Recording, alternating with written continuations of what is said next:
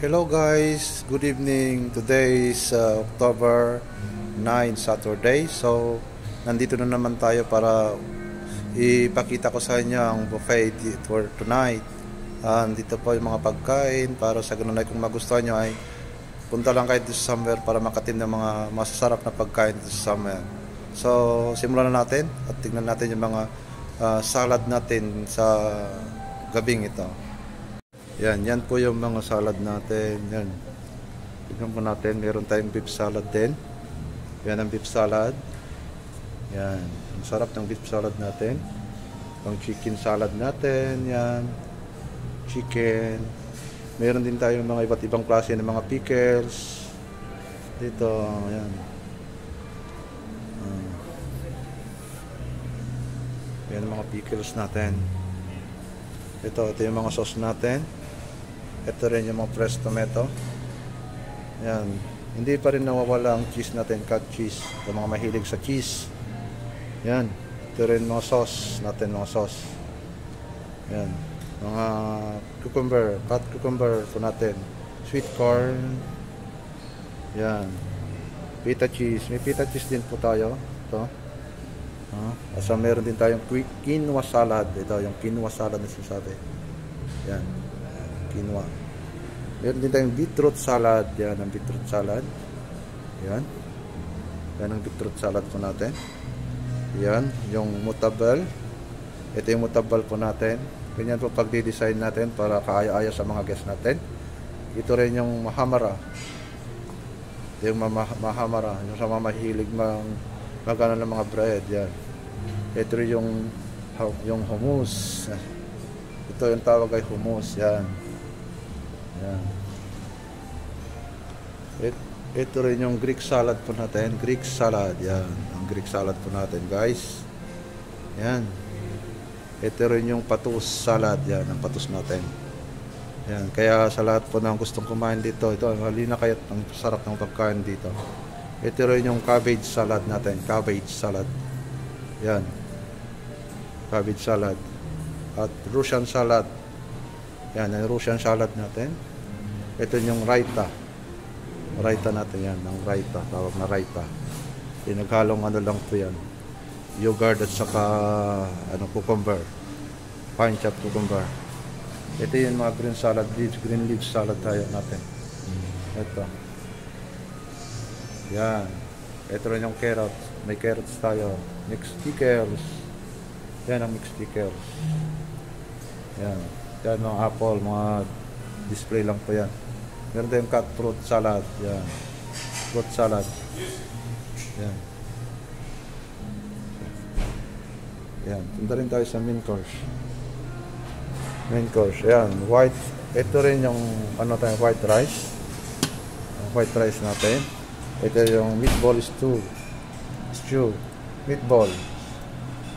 Yan. Meron tayong roasted potato. Yan, ang roasted potato natin yan roasted potato. Meron din tayong beef moussaka.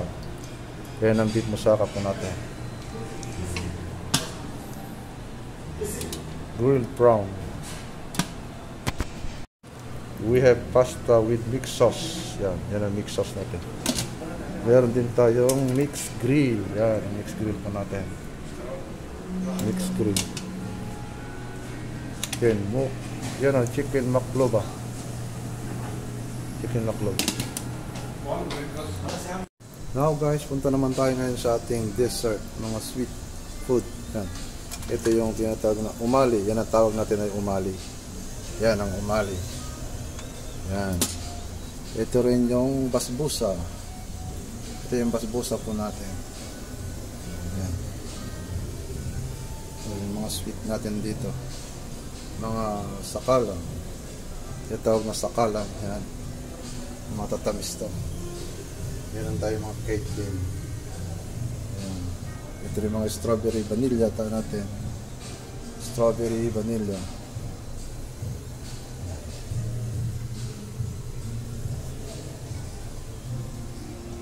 Ito yung raspberry mousse.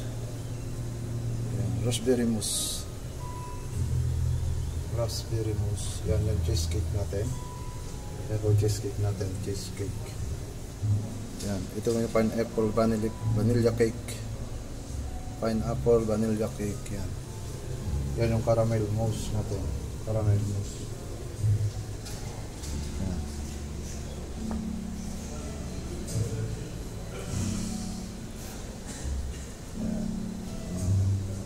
Puro matatamis talaga.